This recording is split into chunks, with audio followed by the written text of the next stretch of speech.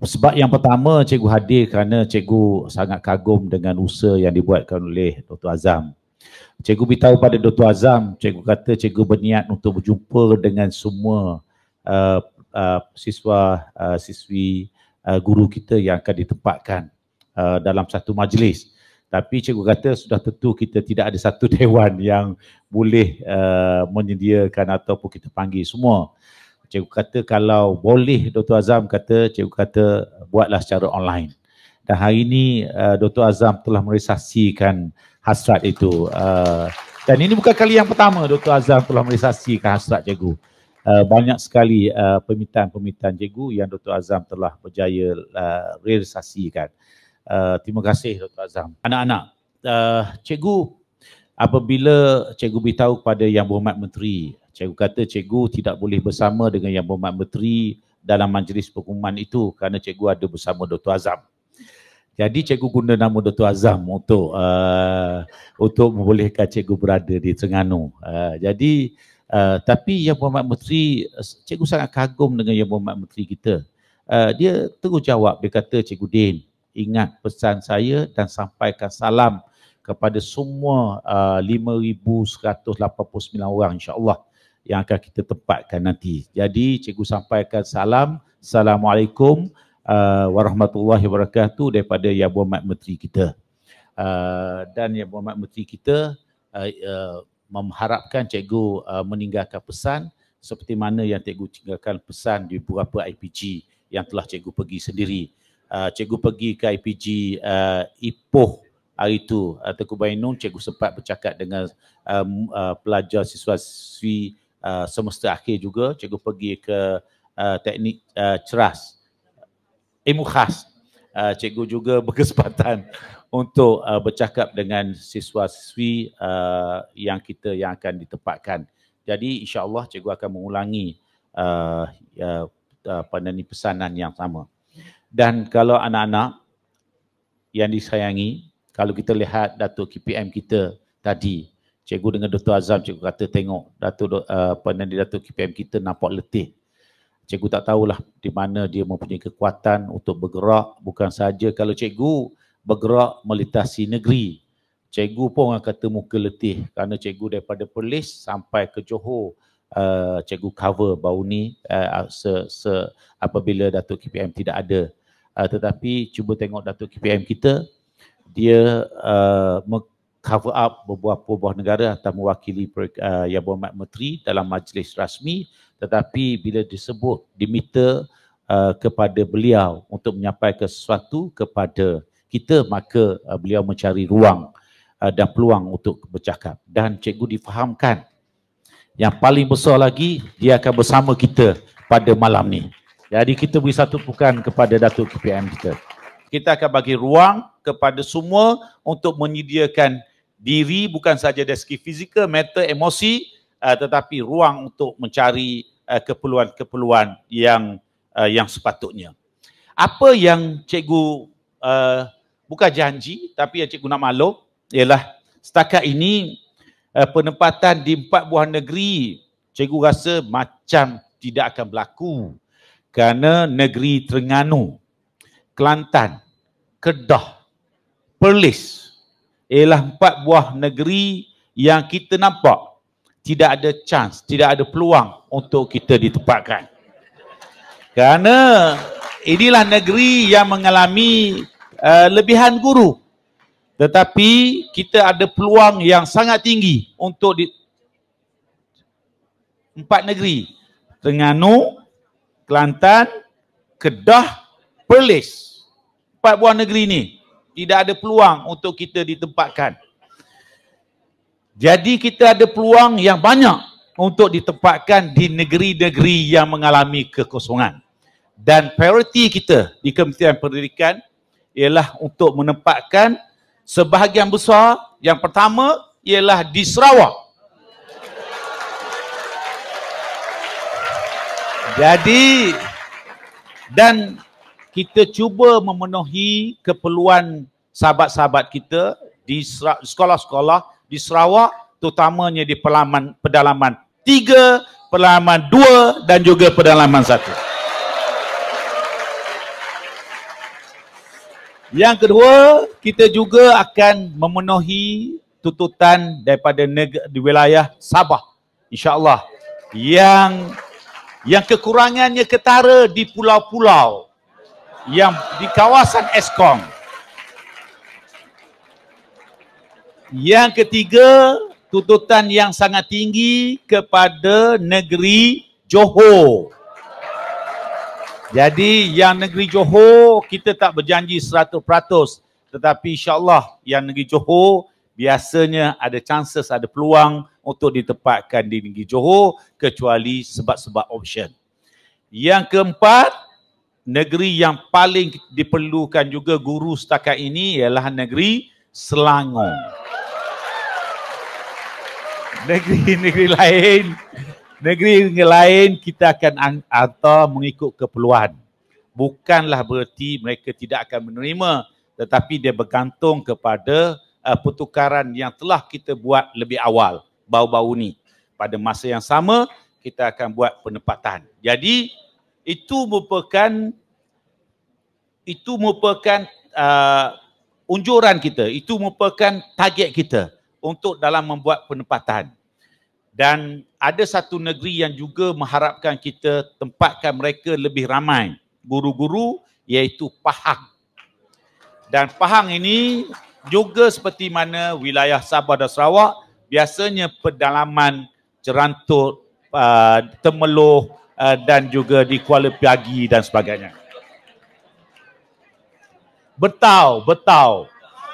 Okey. Jadi cikgu sebut ini kerana cikgu nak semua yang ada dalam talian dan juga dalam dewan ini telah dapat gambaran di mana kita ditempatkan. Tetapi dia masih lagi tertaluk kepada option. Ada juga cikgu sebut, ada juga keperluan option di negeri-negeri yang tertentu yang mem- membolehkan insya-Allah membolehkan mereka ditempatkan kadang-kadang berlaku kadang-kadang berlaku mereka ditempatkan di negeri kelahiran mereka. Jadi Yang Berhormat Menteri mengharapkan semua yang ada dalam talian dan juga dalam dewan ini faham situasi kita. Ini bukan ugutan tetapi inilah makluman supaya kita bersedia lebih awal. Dan kita kena meyakinkan ibu bapa kita, parent kita, keluarga kita yang kita berkhidmat atas nama keperluan negara. Itu yang pertama. Yang kedua, apabila kita pergi ke sekolah yang ditempatkan itu, maka cikgu tak nak. Cikgu tak nak kita kekal dengan kumpulan kita saja. Apabila kita masuk ke sekolah rendah yang ditempatkan itu, maka kita mesti menyertai pasukan sedia ada. Cikgu dapat begitu banyak sekali komplain. Uh, penempatan-penempatan kita sebelum ini dia kata kita tidak boleh uh, berkawan. Kita tidak boleh menyertai kumpulan yang besar itu. Tapi cikgu percaya ianya semakin baik. Kerana kita telah memberi bimbingan tujuh ajar yang begitu banyak sekali supaya uh, guru-guru uh, siswa kita dapat uh, assimilate ataupun dapat bercampur dengan begitu baik uh, dengan rakan-rakan sejawat kita yang lebih senior ataupun yang lebih awal telah berada di sekolah itu. Jadi jangan kita duduk dalam kepulan kita. Pengalaman cikgu. Cikgu ditempatkan di sekolah menengah Tanah Putih, sekolah Cina Tanah Putih Kuantan. Cikgu ditempatkan 8 orang. Pengetua pada masa itu Mr. Koh. Cikgu masih ingat lagi dia asingkan cikgu 4 orang. Pagi dan juga petang. Kerana dikata dia bimbang amalan sebelum-sebelum ini dikata yang lapan orang tu penempatan baru akan duduk dalam kelompok mereka. Jadi di situ cikgu belajar kita sepatutnya menyertai pasukan-pasukan sedia ada dengan cepat. Dan apabila kita berada di tempat itu juga kita kena assimilate, kita kena cuba sesuaikan diri dengan cepat. Ada yang mungkin terpaksa mandi menggunakan air hujan ada terpaksa mandi menggunakan sungai. Ada yang mungkin mandi dengan bukan seperti mana bilik air yang ada di rumah kita. Cikgu pergi banyak tempat di pedalaman. Oh, diam terus bila cikgu cerita. Bagus. Uh, cikgu pergi di di satu sekolah yang cikgu lihat tempat mandi yang disediakan oleh oleh sekolah untuk guru dan juga untuk murid hampir sama. Yang membezakan hanyalah satu uh, hadangan untuk guru tersebut mandi. Jadi itu persediaan kita untuk menghadapi keadaan-keadaan itu. Cikgu pergi ke Long Atu. Long Atu uh, salah sebut saya terima maaf lah kalau orang ada Sarawak orang. Tapi cikgu rasa betul dah sebut. Cikgu tak jauh uh, perjalanan itu uh, hampir tujuh jam four wheel drive untuk sampai ke sekolah tersebut. Tetapi apabila cikgu pergi ke sekolah itu, sekolah itu antara sekolah yang sangat hebat bagi cikgu. Cikgu pergi ke Mukah, Dalat dan Baru, uh, Daro. Cikgu pergi setiap sekolah yang cikgu pergi ke pedalaman itu, uh, sekolah itu sebenarnya sekolah-sekolah yang hebat yang telah didirikan ataupun telah dibangunkan oleh kepimpinan-kepimpinan sekolah. Cikgu pergi satu sekolah di Tutup Apoh yang sangat popular. Cikgu pergi uh, di situ cikgu nampak cabaran kerana ada uh, signboard yang mengatakan awas buaya melintas. Jadi anak-anak, ini persediaan yang cikgu harapkan daripada anak-anak tentang penempatan. Okey, itu yang kedua. Yang ketiga, apabila pergi di sana, ingat kita tidak semestinya mengajar subjek yang kita belajar. Pengalaman cikgu, cikgu pergi, option lain bila sampai ke sekolah, mereka minta kita supaya mengajar option lain. Jadi juga bersedia dengan keadaan itu tetapi ia jarang berlaku kepada option bahasa Inggeris dan juga pendidikan agama Islam ataupun RBT dan sebagainya. Tetapi yang lain, uh, maka dia kadang-kadang dia bergantung kepada uh, penempatan di sekolah tersebut. Anak-anak, jadi ingat dalam kepala kita, kita bersedia untuk mengajar apa saja subjek yang ditempatkan kepada kita. Yang keempat, apabila kita pergi ke sekolah maka kita telah diajar. Di, di IPG kita telah diajar semua aktiviti core curriculum. Sukan dan permainan. Di itu di situ juga biasanya kita akan diminta untuk menjadi pengurus jurulatih dan uh, penasihat guru penasihat persatuan-persatuan kelab-kelab uniform dan sebagainya jadi cikgu harap semua ini kita terima dengan hati yang terbuka. Mungkin, mungkin ia juga tidak seperti mana Gerko yang kita belajar di IPG. Ada lagi Gerko? Aku takut takut zaman aku ni. Maknanya, eh, eh apa? Unit uniform, sama lah. Maknanya itu pun kita kena bersedia kerana kemungkinan itu berlaku. Jadi anak-anak, cikgu minta sungguh-sungguh menggunakan semua yang kita ajar yang telah pelajari di IPG ini supaya kita dapat terjemahkan, kita dapat realisasikan apa yang kita belajar itu kepada tindakan. Tak guna kita mempunyai ilmu, kemahiran, pengetahuan tetapi kita tidak menjemahkan dia kepada tindakan. Kerana yang paling penting sekali akhirnya kejadian murid itu dilihat kepada keupayaan bagaimana guru menterjemahkan apa yang mereka pelajari. Itu yang keempat. Yang kelima, anak-anak. Bila kita pergi ke sekolah, ada yang bernasib baik ditempatkan di bandar. Ada yang ditempatkan di pedalaman. Yang di bandar menghadapi isu lain. Isu jam, isu cari rumah payah dan isu tututan-tututan lain apabila kita ditempatkan di bandar. Tetapi apabila kita ditempatkan di luar bandar, pedalaman, maka tututannya lain. Di IP di di bandar mungkin kita tidak ada masalah dari segi internet. Tapi kalau di pedalaman, pengalaman di luar bandar, maka kita akan hadapi masalah dari segi internet. Tetapi ia tidak menghalang kita untuk kita menjayakan hasrat Kementerian Pendidikan hasrat Kementerian Pendidikan ialah untuk kita menjayakan dasar pendidikan digital negara. Jadi untuk itu maka kita kena menyertai pasukan Kementerian Pendidikan Malaysia ini. Kita nak guru-guru kita competence. Kita nak guru-guru kita menggunakan teknologi dalam uh, kaedah uh, pendidikan uh, PDP, uh, PDP mereka dalam bilik darjah. Cikgu sebut ini kerana cikgu sebut ini kerana kadang-kadang apabila kita pergi ke sekolah uh, kita dapati apa yang kita hajatkan tidak dapat dilaksanakan. Tetapi anak-anak cikgu pergi ke dua sekolah bau ni. Satu, dua sekolah. Satu di Bihai, Gua Musang. Satu lagi di Balar, Gua Musang. Di Bihar, cikgu four wheel drive, dua jam. Di Bala, cikgu four wheel drive, uh, tiga jam. Maksudnya lima jam untuk kedua sekolah. Four wheel drive, jalan yang sangat teruk. Tetapi hebat kedua-dua sekolah ini, kedua-duanya telah mengambil inisiatif dengan PIBG dan guru-guru untuk memasang Starlink. Mereka dengan inisiatif sendiri memasang Starlink. Maka tidak ada isu apabila mereka nak menggunakan delima dalam pengajaran mereka. Mereka boleh menggunakan teknologi, uh, dia boleh menggunakan bestari teknologi internet dan sebagainya. Jadi cikgu harap anak-anak murid uh, anak-anak murid-murid pula anak-anak anak-anak siswa guru yang ada di hadapan cikgu dan juga dalam talian maka kita juga bersedia dengan keadaan ini. Okey, yang keenam Apabila kita ditempatkan, yang paling penting ialah kita menjadi suri teladan.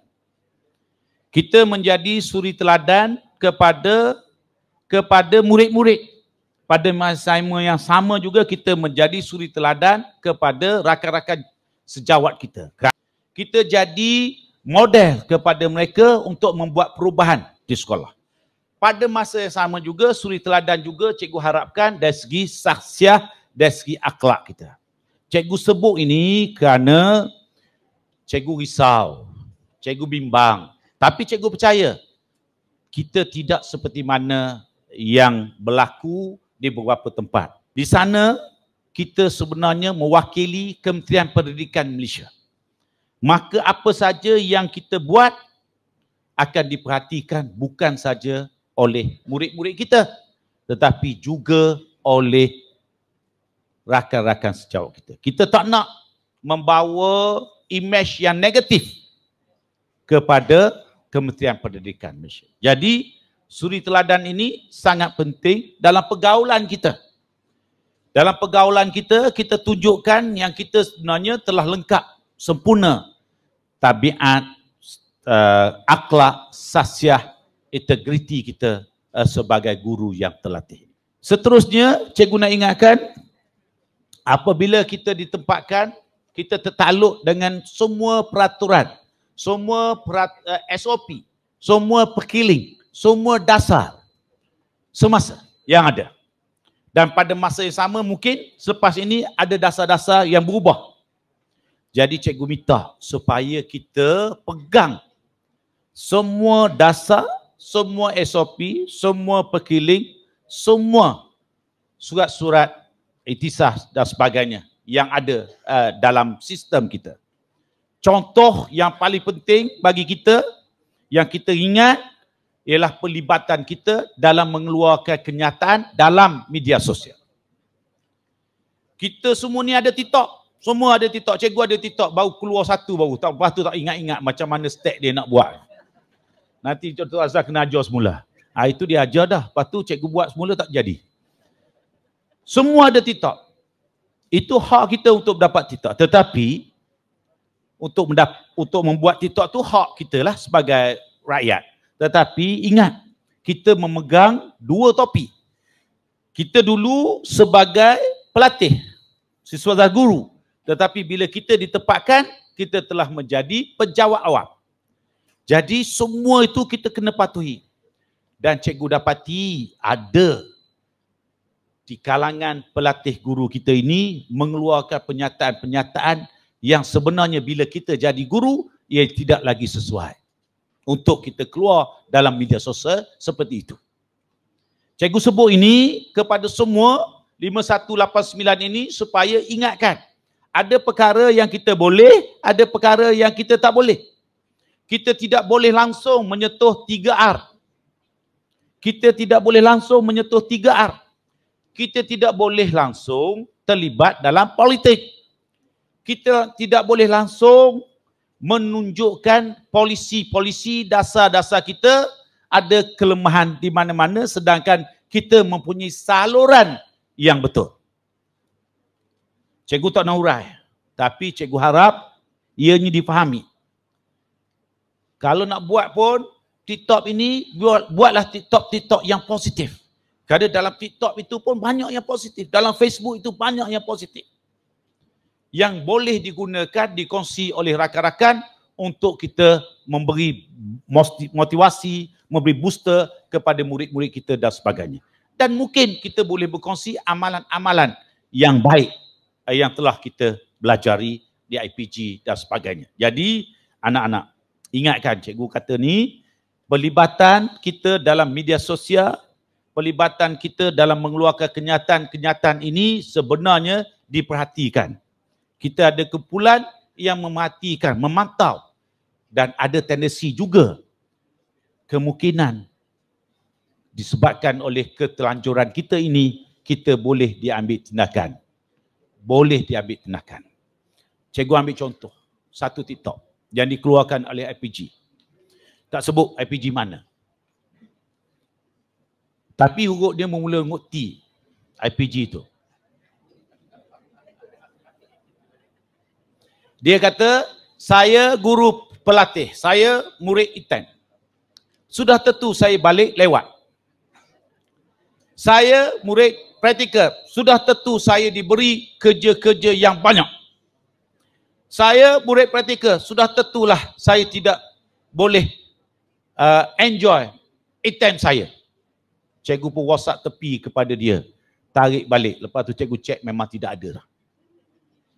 Ini contoh saya guru pendidikan Islam. Sudah tentu saya sokong ijab. Ini sungguh cikgu kata dan orang tu, budak tu cikgu minta Dr. Azam ambil tindakan. Kerana dia telah berpolitik. Dan kemungkinan kita tidak akan postingkan dia nanti. Kerana dia bukan semesta akhir. Kerana dia telah berpolitik, dengan cara yang tak betul. Jadi, cikgu minta supaya kita berhati-hati dalam keluarkan kenyataan ini. Apa pun kita tahu, kita ada satu topi lain. Iaitu topi pejawat awam nanti. Yang memegang kita untuk melaku, yang melakukan perkara yang kita boleh dan perkara yang kita tidak boleh. Okey. Okey, itu yang keberapa. Seterusnya, uh, ada dua lagi. Cikgu juga nak ingatkan apabila kita berada di sekolah, ingat, kita bekerja mengikut hierarki. Kita bekerja mengikut hierarki, kita ada ketua. Apa pun pergerakan kita, apa pun keperluan kita, apa pun uh, kehendak kita, kita mesti melalui ketua jabatan. Ketua jabatan dalam konteks ini kita ialah guru besar. Itulah kan? Guru besar. Jadi kita kena keadaan apa pun kita sentiasa beritahu kepada ketua jabatan kita sebelum kita mengambil tindakan uh, ataupun sebelum kita membuat keputusan. Apa saja mesti kita melalui ketua jabatan kita. Dan apabila kita menghadapi masalah, kita guna saluran yang betul dan kalau katakan kita tak boleh selesai di peringkat sekolah, maka kita ada PPD. Jangan kita terus direct kepada sebut ni, kepada siapa? Ada yang berani sampai ke yang amat berhormat Perdana Menteri. Janganlah kita kacau yang, yang amat berhormat Perdana Menteri. Dia dah banyak fikir pada kita. Dah banyak tolong kita dengan beri kenaikan gaji nanti. Jadi batch ini nanti akan terus dapat kenaikan. Cikgu bersara bulan 11.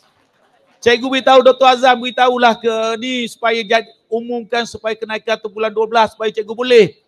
Dia kata eh bulan 11. Dr. Azam kata kau tidak bernasib baik. Kerana diumumkan pada bulan 12, terlepaslah. Tetapi kita batch yang nasib baik.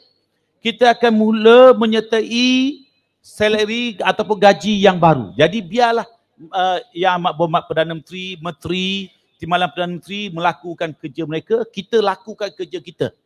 Mengikut saluran kita. Kalau ada isu, ianya boleh dibincangkan dengan ketua jabatan sampai ke peringkat PPD, sampai ke peringkat GPN dan saluran itu akan sampai kepada kita. Jangan kita melakau dengan menggunakan pihak-pihak tertentu hingga mereka terpaksa terpaksa uh, terlibat dengan keputusan yang sepatutnya mereka tidak terlibat walaupun kita sebagai rakyat. Kerana kita dah ajar guru-guru pelatih kita tentang kerja secara hierarki. Faham tak ni? Faham tak tu? Yang tiga orang tu, faham tak tu belakang tu? Nampak daripada tadi tu? Daripada tadi duk tarik tudung lah. Kanah juga ya Allah. Astaga. Kepanah sangat. Okey. Itu cikgu sebut ini kerana kita faham kita faham bukan semua uh, penempatan itu tidak ada masalah. Kadang-kadang nak sesuaikan itu ada masalah. Tetapi kita kerja ikut hierarki maka kita menggunakan saluran-saluran betul untuk menyampaikannya. Okey, yang akhir sekali. Yang akhir sekali kita akan menyertai kurikulum baru. Kita sedang buat dia panggil apa? Kurikulum baru 2027. Jadi kita akan jadi batch yang pertama nanti. Dia akan mulakan tahun 2026 dengan pra sekolah. Faham tak ni? 2026 dengan pra sekolah, 2027 kurikulum baru 2027. Jadi apa yang kita belajar ini selama ini tidak cukup. Kerana kita perlu ilmu, kita perlu pengetahuan, kita perlu pengetahuan baru yang sesuai dengan tuntutan zaman. Jadi bersedia juga. Sekejap saja kita ditempatkan 2004, 2005, 2006, 2007 kita akan menerima sukatan baru. Jadi cepat kita membiasakan diri sesuaikan dengan tuntutan-tuntutan ini. Jadi bila ada perubahan-perubahan latihan dalam dalam uh, perkhidmatan ladap yang dibuat di peringkat sekolah maka kita kena sertai. Jangan kita kata kita sudah lengkap dengan lima tahun yang kita belajar. Anak-anak, pendidikan ialah satu yang dinamik. Pendidikan ialah satu yang sepanjang hayat. Cikgu nak pencin pun masih lagi cikgu belajar. Jadi begitu juga kita. Lebih-lebih lagi anak-anak yang berada di hadapan cikgu yang ada 30 tahun lagi. 36 tahun lagi. InsyaAllah. Untuk berkhidmat kalau sehat, eh, cikgu doakan semua akan sampai ke grade yang tertinggi. Tapi sesuaikan dengan ilmu, dengan kemahiran yang kita perlukan mengikut peredaran zaman. Ingat, anak-anak yang kita ajar nanti, murid-murid kita ialah murid-murid generasi yang tak sama dengan kita.